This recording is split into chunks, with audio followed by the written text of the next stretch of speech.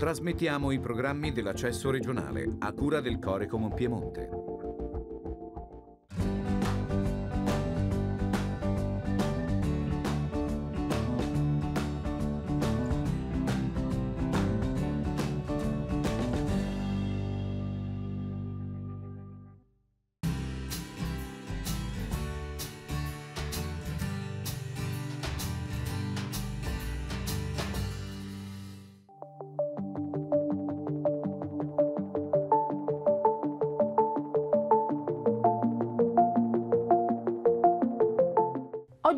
Presentiamo Conf Cooperative, Cultura, Turismo e Sport.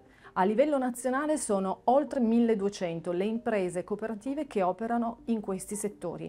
Gestione e valorizzazione di beni culturali, sport, tempo libero, scuole, turismo, eh, spettacolo, editoria, davvero un mondo eterogeneo e variegato. E in particolare crediamo nell'impresa cooperativa. L'impresa cooperativa che, come amiamo dire noi, mette al centro le persone il profitto è al servizio delle persone. In questi settori si può, si deve fare impresa, imprese culturali e creative e oggi vi presentiamo qualche eccellenza. La cultura io credo debba essere una risorsa, una risorsa da trattare al pari alle risorse minerarie, ambientali, alimentari, quindi da costruirci una filiera, una, una filiera imprenditoriale con delle ricadute economiche e lavorative. Mi piace molto quando si parla di impresa culturale e ancora di più quando si parla di industria culturale, ma faccio un passo indietro, mm, parlo anche di formazione ed educazione, non ci deve soltanto essere l'impresa culturale, ma ci deve essere anche una cultura dell'impresa. La Fabbrica dei Suoni, cooperativa sociale che aderisce a Confcooperative, ha immaginato proprio di divulgare, valorizzare il patrimonio culturale, immateriale, musicale attraverso metodologie laboratoriali, esperienziali, per un target specifico, dall'infanzia fino alla terza età.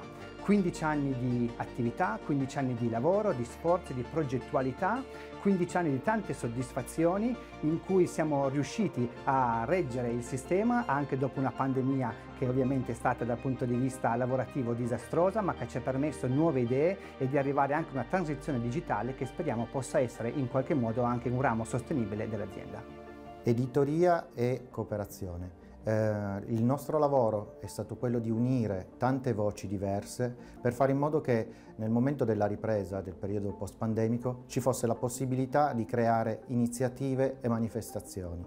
Eh, abbiamo partecipato con molte realtà cooperative editoriali e non, per esempio al Salone del Libro di Torino e che è stata un'ottima vetrina per raccontare il nostro lavoro. Eh, pre sono presentati progetti importanti come le piccole bibò, le biblioteche dei boschi che ormai eh, si possono trovare in decine di luoghi nel Piemonte. Eh, questo ha fatto sì che eh, oltre che una vetrina ci fosse la possibilità di discutere riguardo a come risolvere i problemi in un periodo come questo. Una delle realtà è la casa editrice Scrittura Pura, per cui lavoro.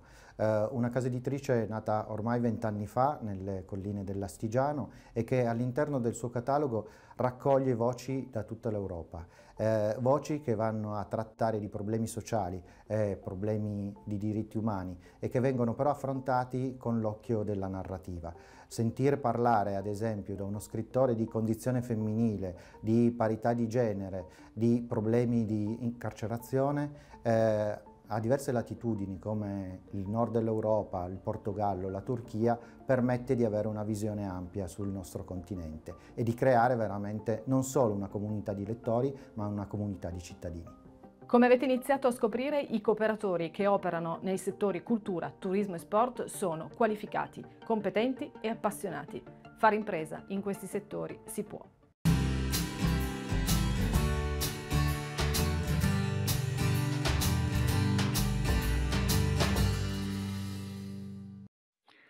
Siamo con eh, Roberto Sardo, presidente Ammil Piemonte, l'associazione nazionale fra lavoratori mutilati e invalidi del lavoro. Vogliamo partire con una domanda che riguarda l'evento annuale più importante per l'associazione, che ricade nella seconda domenica di ottobre, la giornata nazionale per le vittime degli incidenti sul lavoro, che ha avuto, come sempre, l'alto patronato del presidente della Repubblica e il patrocinio della RAI che, grazie alle testate giornalistiche regionali, ha seguito le manifestazioni svoltisi in tutta Italia, come anche quelle che si sono svolte in Piemonte. Di che ricorrenza si tratta?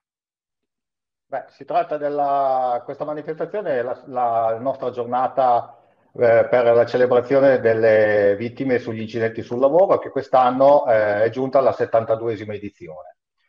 Viene organizzata su tutto il territorio nazionale e eh, per quanto riguarda la regione Piemonte è stata celebrata a Torino, poi ad Alessandria, ad Asti, a Biella, a Cuneo, a Novara, a Verbagna e anche a Vercelli. A questa manifestazione, che appunto come diciamo prima per noi è, è di primaria importanza, hanno partecipato, oltre agli invalidi e alle loro famiglie, anche le autorità eh, cittadine. Questa giornata per noi non vuole essere solo una commemorazione, ma vuole essere un'occasione per sensibilizzare e mantenere sempre alta l'attenzione sia dell'opinione pubblica che delle istituzioni sul dramma degli incidenti sul lavoro. E vogliamo anche portare l'attenzione su due temi che per noi sono fondamentali che ci stanno particolarmente a cuore sono la vita e la salute dei lavoratori e la tutela dei diritti che sono previsti per le vittime degli incidenti sul lavoro. Infatti puntiamo a chiedere che sia garantita una migliore tutela alle, per le vittime sul lavoro e alle loro famiglie affinché possano eh, superare al meglio il dramma in cui improvvisamente si trovano catapultati, sia per, quanto, sia per quelli che restano eh, invalidi permanenti sia per quelli che eh, per causa dell'infortunio perdono la vita. E quindi oltre alla, alle tragiche condizioni psicologiche in cui si vengono a trovare i familiari, a, a volte devono anche affrontare difficoltà economiche. Oltre alla tutela delle vittime del lavoro, l'associazione si occupa anche di promuovere la prevenzione nei luoghi eh, di lavoro. Cosa fate nello specifico? Ma da oltre vent'anni portiamo i nostri testimonial nelle scuole e anche nelle aziende e contribuiamo a stimolare l'attenzione degli studenti e dei lavoratori verso una formazione che spesso risulta inefficace. Parliamo di infortunati sul lavoro che vanno appunto nelle aziende o nelle scuole, raccontano la propria vita, la propria storia di vita a, appunto agli studenti e ai lavoratori e mettiamo in campo circa 10.000 volontari che sono attivi su tutto il territorio nazionale eh, sono pronti a mettersi a disposizione per far sì che ad altri non succeda quello che hanno vissuto loro sulla propria pelle. Il fatto che la nostra associazione abbia sedi in tutte le province della regione, eh, come del resto anche in tutto il paese, eh, ci consente di recarci un po' ovunque senza particolari problemi. Quindi eh, ci rivolgiamo appunto alle scuole di ogni ordine e grado e alle aziende affinché ci contattino per conoscerci e ovviamente per avviare questi momenti davvero toccanti eh, che, che, abbiamo verificato di persona sono molto efficaci. Basta telefonare al numero verde gratuito 800 180 943 oppure consultare il sito www.anni.it. Quali sono le ultime più importanti iniziative che l'ANMIL sta portando avanti nella regione Piemonte? Allora, faccio una premessa. In Piemonte sono circa 30.000 le persone con disabilità da lavoro. Per venire incontro appunto a queste persone, tra le numerose iniziative che abbiamo in atto, in particolare mi preme annunciarne una. A luglio è stato firmato un protocollo tra l'INAIL e l'ANNI Piemonte che vuole rilanciare la formazione e il collocamento mirato delle vittime degli incidenti sul lavoro. L'impegno delle parti sarà rivolto a diffondere su tutto il territorio regionale le informazioni relative alle prestazioni e ai servizi erogati a favore delle persone con disabilità da lavoro, ed attivare appositi percorsi formativi avendo preventivamente individuato i bisogni dell'utenza attraverso un monitoraggio, questo verrà fatto da parte dell'INAI. Entro la fine dell'anno verranno definite le modalità operative da ambo le parti in modo da poter far divenire operativo questo protocollo già dall'inizio del 2023. Bene, ringraziamo il presidente di Ammi Piemonte, Roberto Sardo.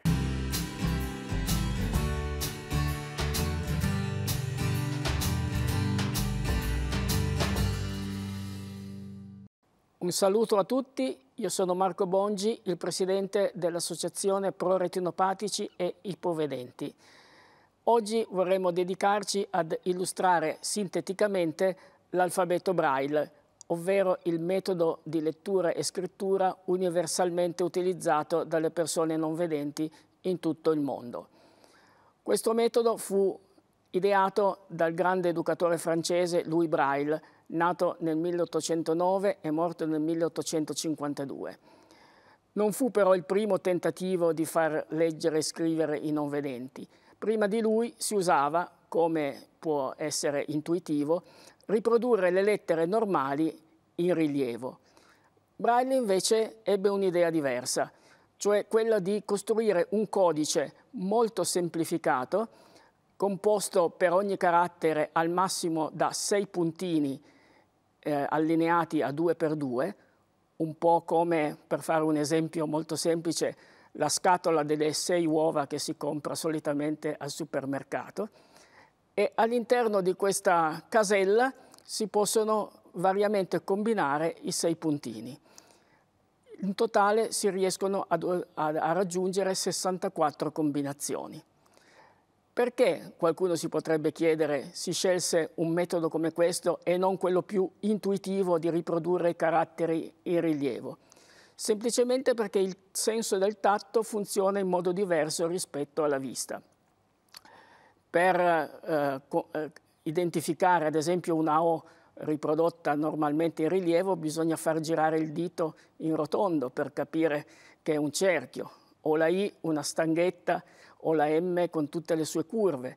Invece questo metodo ideato da Louis Braille consente di leggere semplicemente facendo scorrere le dita da sinistra a destra sul foglio senza doversi spostare ulteriormente. Quindi una lettura molto più eh, sciolta, molto più agile. Ovviamente il povero Louis Braille incontrò molte difficoltà a, a ad imporre questo sistema che sembrava quasi un codice segreto, quindi eh, visto con sospetto ai suoi tempi come anche successivamente.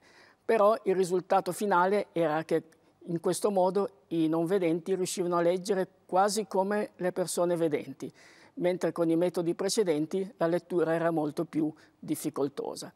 Per questo oggi ancora oggi che abbiamo la tecnologia, abbiamo le sintesi vocali, abbiamo tutta una serie di dispositivi moderni, l'alfabeto braille rimane comunque sempre il modo di percezione dell'informazione più simile ad una vera e propria lettura oculare.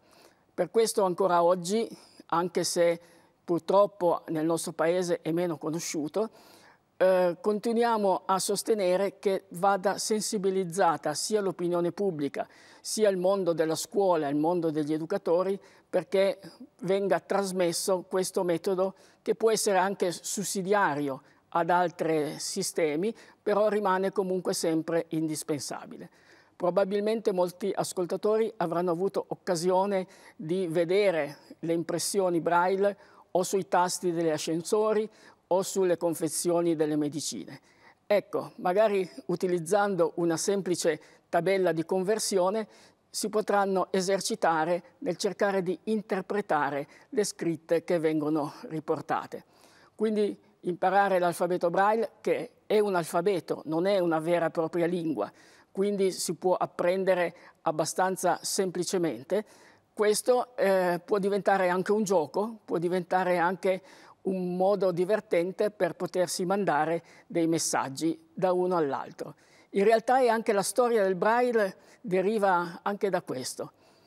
Presso la nostra associazione è possibile approfondire questi argomenti, organizziamo dei corsi e siamo a disposizione per spiegare meglio il, la realtà dell'alfabeto braille. Vi ringrazio e vi do appuntamento alle prossime trasmissioni.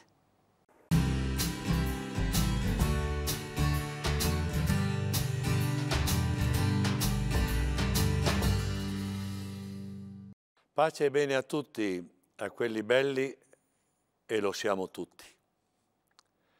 Sono il parroco di Candiolo, Don Carlo Chiomento, vengo a parlare di una realtà importante per la vita di tante persone, famiglie che arrivano da tutta Italia e al momento da 28 paesi dell'estero Accogliamo nella casa di accoglienza che abbiamo costruito a Candiolo le persone malate e i loro familiari, i loro parenti che eh, fanno le cure nel vicino ospedale, l'IRCC di Candiolo. La nostra storia comincia nel 1999 quando ho scoperto che una famiglia, i parenti dormivano in macchina e questo ha creato in me un problema, o meglio una occasione di riflessione. L'ho considerata come una telefonata del Padre Eterno che mi dice Mo, dove vado a dormire? Ecco è nata la casa di accoglienza. La nostra storia si articola in tre precisi momenti. Il primo momento è stato quello della risposta alle emergenze. Abbiamo ospitato malati e parenti nella, in alloggi di fortuna, così. E intanto abbiamo progettato col Cardinal Poletto la costruzione vera e propria della Madonnina. Nasce allora la seconda fase ed è stata l'accoglienza alla Madonnina in questi anni dal 2007 quando in pratica abbiamo accolto le prime famiglie in questa struttura nuova, ad oggi ci sono stati 129.000 pernottamenti. Sono persone che arrivano e che hanno bisogno di una comunità, di persone che stiano loro accanto e noi ci diamo da fare per supportare i loro bisogni pratici, i trasporti, dove comprare la roba, eh, eccetera. E adesso nasce la terza fase, la legge ha richiesto di passare da ONLUS a ente del terzo settore e allora durante quest'anno abbiamo fatto una fondazione, la fondazione La Madonnina ET, ente terzo settore. Ci siamo messi assieme ad un'altra fondazione, la fondazione Martoglio, perché vogliamo eh, allargare il nostro orizzonte di accoglienza non solo alle persone che vengono a Candiolo per curarsi, ma anche alle persone che in altre strutture ospedaliere di Torino e della cintura eh, hanno questo bisogno di eh, indicare ai malati e ai parenti una struttura dove dormire eh, quando i malati fanno le cure. Allora questa fondazione eh, incomincerà la sua attività eh, nel, da partire dal primo gennaio del 2023 e quindi è la terza fase della nostra storia. Ovviamente cambia il nome, eh, eh non più accoglienza Onlus ma Fondazione ET, ma eh, la sostanza non cambia, continueremo ad accogliere parenti e malati, a stare loro accanto, ad ascoltare i loro problemi, a vivere insieme con loro questo pezzo importante della loro vita. Chiaramente stiamo allungando, allungando le nostre eh, disponibilità, adesso si tratta di costruire altre 19 stanze ed è il motivo per cui sono qui. Vogliamo raccogliere tanti volontari. Abbiamo bisogno di un centinaio di volontari in più, quindi per piacere, se avete del tempo e tutti abbiamo un sacco di tempo, diamoci da fare, venite alla casa di accoglienza, venite a visitarla, raccogliete i tappi, però venite a fare i volontari. Grazie, pace e bene a tutti, a quelli belli e lo siamo tutti.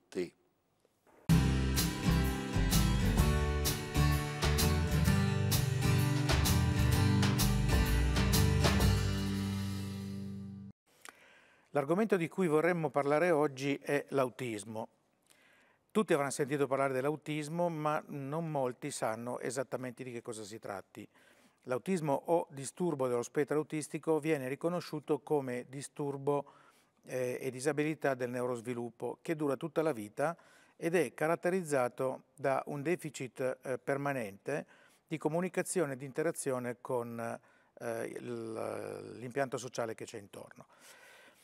Eh, il fatto che venga definito come spettro significa che la distribuzione della frequenza di un dato comportamento problematico varia nel tempo e nell'intensità nella sua manifestazione. Vale a dire ci sono moltissimi eh, modi per esprimere eh, questo stato eh, di difficoltà. Eh, la diagnosi è stata, eh, la diagnosi di disturbo autistico è stata definita eh, e classificata in base alla difficoltà di interazione appunto con eh, la, le persone e con l'ambiente circostante della persona eh, disabile, nonché eh, rispetto ai comportamenti che possono anche essere ripetitivi e eh, stereotipati. Esistono tre livelli di autismo, il primo, il secondo e il terzo. Il primo è quando la compromissione è lieve ed è eh, molto circoscritta alla parte linguistica e cognitiva. Il livello 2 che ha, vede invece una eh, compromissione più ampia e il livello 3 dove si associano anche eh, comportamenti e problemi di eh, importanza piuttosto rilevante. Ci sono dei falsi miti riguardo all'autismo che vale la pena di eh, affrontare e sfatare. Eh, primo, mm, l'autismo passa con la crescita. No, l'autismo è una disabilità che è persistente e rimarrà sempre da quando viene diagnosticata in avanti, eh, rimarrà comunque presente nella vita e nella uh, difficoltà delle persone.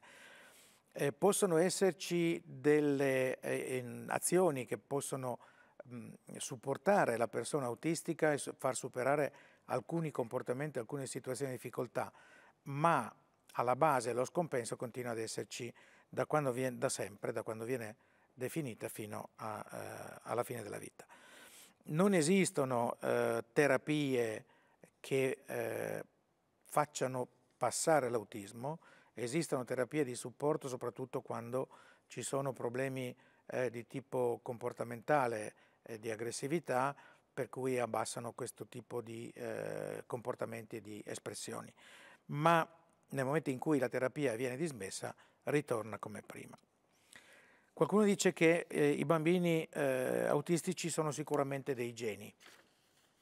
È vero che gli autistici hanno eh, da bambini o anche da adulti hanno eh, alcune predisposizioni eh, specifiche mh, dovute al funzionamento del cervello autistico. Eh, molti sono orientati per esempio alla matematica o alle funzioni tecniche e le sviluppano in maniera molto importante perché la capacità di concentrazione o di fissazione dell'attenzione su quell'argomento è molto più alta rispetto al resto che invece è supporto, eh, deve essere supportato perché ha degli scompensi. Eh, L'autismo è dovuto all'inquinamento ai metalli pesanti o quant'altro? No, l'autismo non è eh, dovuto sicuramente a eh, situazioni di, di, di, chimica di questo tipo.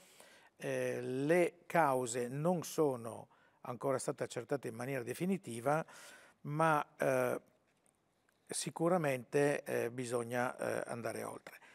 Occorre che ci sia una diagnosi precoce perché l'intervento prima eh, si fa meglio è nel risultato. Sicuramente bisogna intervenire con eh, interventi eh, cognitivo-comportamentali perché danno risultati migliori. quello che noi rileviamo è che eh, ci siano delle false cure che vengono date come miracolose e non lo sono. Quindi una preghiera, inquadrate l'autismo per quello che è e eh, supportate le persone autistiche.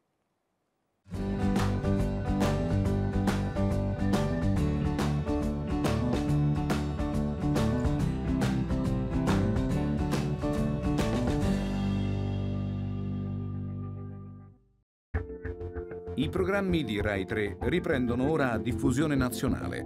Buona visione.